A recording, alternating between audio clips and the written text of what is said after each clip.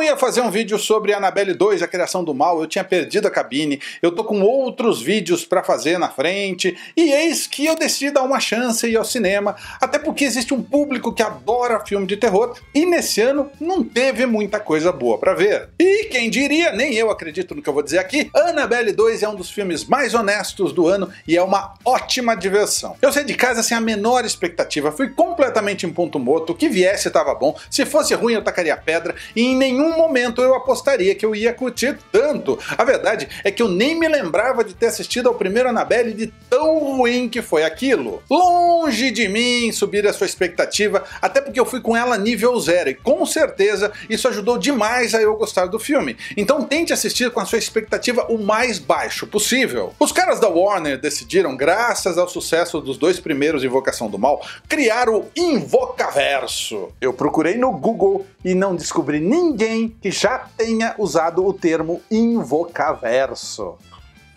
A ideia do estúdio é expandir os elementos mostrados nos filmes Invocação do Mal 1 e 2, e Annabelle 2 é o primeiro passo muito bem dado e eficiente no sentido de criar esse novo Invocaverso. O espectador vai pegar um monte de referências dos filmes anteriores, e tá nos planos lançar um filme com aquela freira assustadora e o outro com o Homem Torto, aquele que assusta o moleque em Invocação do Mal 2. Doze anos depois da morte da filha do criador de Annabelle, um grupo com seis garotas órfãs é levado por uma freira para morar na casa dele com a sua mulher. Ele avisa uma das garotas para não entrar num quarto que está fechado e obviamente a garotinha entra e nesse ponto entramos em uma montanha russa de sustos, medo e bonecas assustadoras. Como eu disse, eu realmente não me lembro de nada do primeiro Annabelle. Eu apaguei completamente o filme da minha memória, como se eu não tivesse assistido, e eu acredito que a culpa disso, além claro de ser um diretor e ter roteiros ruins, foi de não ter bons personagens bem desenvolvidos pra gente torcer por eles. Em Annabelle 2 tem, o grande trunfo dessa continuação são as meninas que seguraram o meu interesse do começo ao fim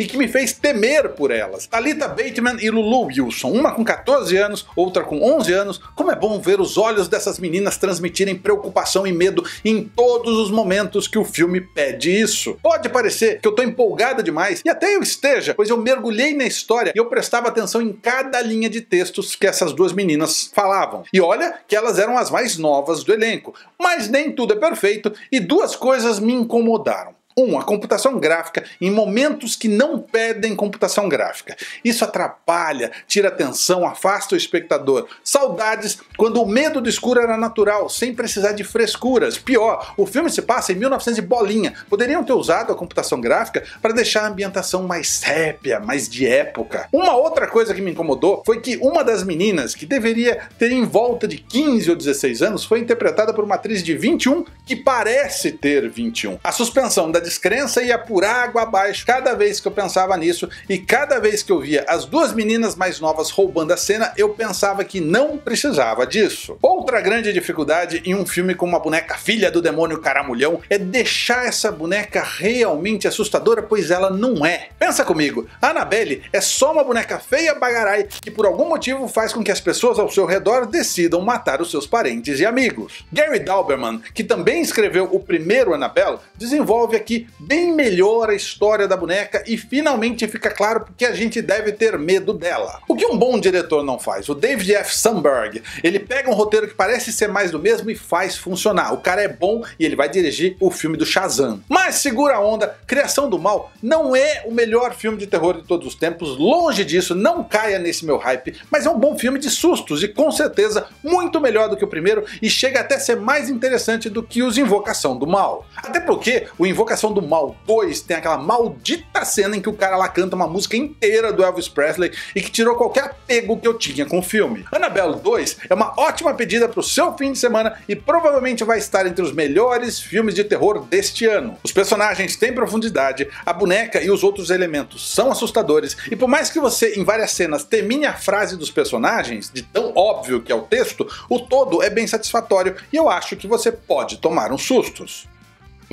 Num ano em que saiu tanta coisa sem graça, quem sabe essa seja uma boa experiência finalmente, e com a vantagem de que você não precisa ter visto os filmes anteriores. Eu prestei atenção na reação da plateia após o filme e a maior parte do público gostou, teve uns dois ou três que não curtiram tanto. Eu estava entre os que gostaram.